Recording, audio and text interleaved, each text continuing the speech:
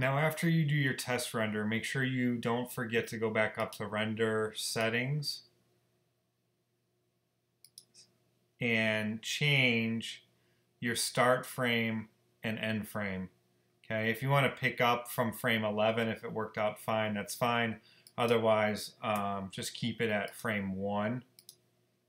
Okay, and make sure end frame you type in the last frame. You can see it down here, right? So I have 200 frames in my animation. And then you're going to just close that and then again go back to render and batch render. Okay, and it'll render out all of your frames. Okay, once we do that, we got to bring it into Premiere. So open up Premiere. It's a purple box with the letters P and R in it. So mine is in the process of loading right now.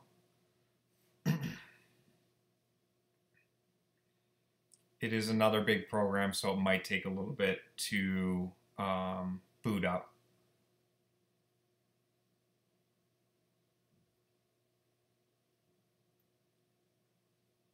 And still waiting, still waiting. There it goes. So looks like this little box here, right? If you hit your F4 key and look for your programs.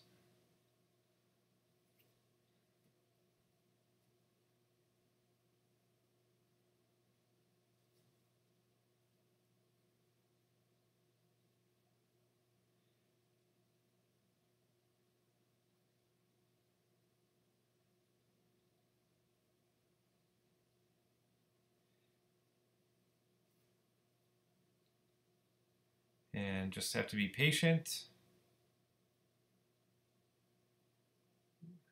There we start to go.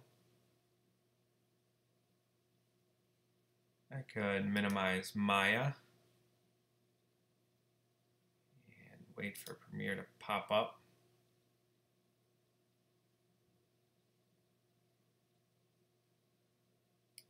And here it's starting to load, still slow, slow, slow.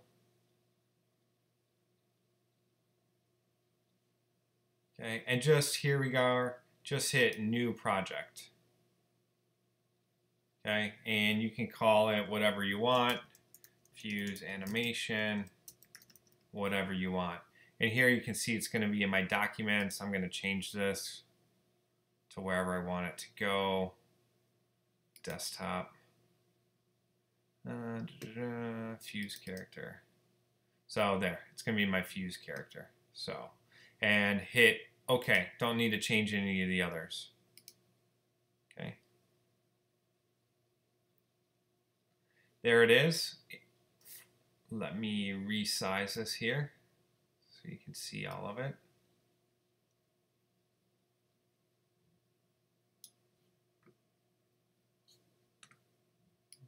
Uh, get it in my screen for you.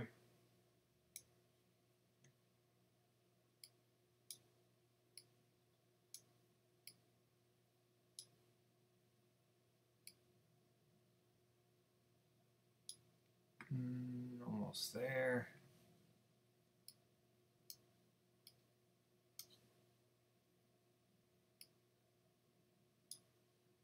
There. And you should be able to see all of it now. Okay. So this is really simple. Um, you're just going to go up into where it says Premiere Pro up at the top. It's off the screen here, but you're just going to go File, right, and down into Import. Command I is a shortcut. Okay, and once that's there, you're going to go and find where you put your uh, JPEGs. So you're going to, I'm in Desktop, Fuse Character, Images. There they are, 1 through 200. Here's the easy part. Just find number 1, okay? Make sure you hit options down here and you want this tagged. So by default, I don't believe it is tagged. Make sure it image sequence and just hit import. And it will import 1 through 200. And here you can see there is my animation, okay, over here in my media browser. And I'm just going to click and drag over, okay? And there it is, and I can see my preview here. And if I hit the space bar or you can hit play, etc. But spacebar, and there's my animation. Okay, little shadow. Again, can deal with that later. Um, if you want to add sound, all you have to do is import the sound into your media browser over here, and here you can see audio channel one, um, and you can just drag it over here to one, okay, and then um, trim it up whichever you want. Uh, here's the shortcuts for trimming. So whatever to the left I want, I can hit Q, and it deletes everything to the left of my blue playhead. Okay, if I hit W, so if I just move this down and hit W, it deletes everything to the right of my playhead. So uh, editing shortcuts Q and W to trim. Okay, some very basic. So you can trim your music. Once you have your music in, once you have your animation in, right? Let's check it. It's the whole thing. Cool. It's looking pretty good. Just how I want it. Okay. Now we're to go up top again to File, and we're to go to Export Media. Okay. And this is how we'll just turn it into a QuickTime movie format, make it QuickTime. Okay, leave it at um, widescreen. I'm going to rename by clicking my output name and we'll just call it Fuse Animation. Right, and it's going to be an MOV. I want it in my Fuse character folder. Cool, save. So here it will make sure export video and audio is clicked. Okay, it's going to be a 720 by 480 at 30 frames per second, da da da da da. And all you have to do is just hit export. Okay, and there it is. I'm going to open up Finder and not in images. So let's go desktop, fuse character.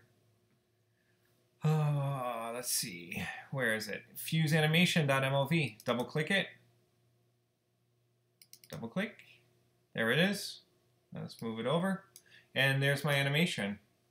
And you can share that, and that's actually what you're going to upload and turn in is this whole animation sequence in a .mov format. And that's as easy as it gets for creating a 3D animation.